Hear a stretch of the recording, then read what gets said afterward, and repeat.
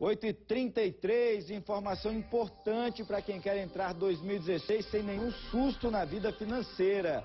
O GDF divulgou as datas para o pagamento do IPVA 2016.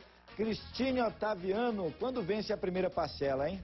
Já dá para programar, viu, Juliano? Os primeiros vencimentos para aqueles motoristas que têm veículos com placas terminadas em 1 e 2 já é agora no dia 14 de março, bem daqui a pouquinho, o ano anda passando muito rápido, né? Então já dá para colocar as primeiras parcelas no vencimento. Lembrando que o GDF também publicou uma atualização da tabela de valores venais dos veículos. É aquele valor no qual é calculado o, o imposto que você vai pagar daqui a pouquinho no IPVA. E houve também uma alteração nessa alíquota alíquota. Para carros de passeio, por exemplo, a alíquota que era de 3%, agora no ano de 2016 vai ser de 3,5%. Então, certamente o IPVA vai ficar mais caro para todos nós, viu, Juliano?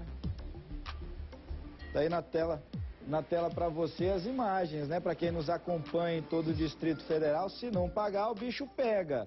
Então já dá para se programar direitinho, dá certo para você já em março ter esse dinheirinho separado né, e não ficar em nenhuma fiscalização. Já sabe, já guarda o dinheiro, depois não reclama, não fala que eu não avisei. Cristina Taviano, muito obrigado pela informação. Você volta a qualquer momento com mais detalhes para a gente, 8 horas e 30.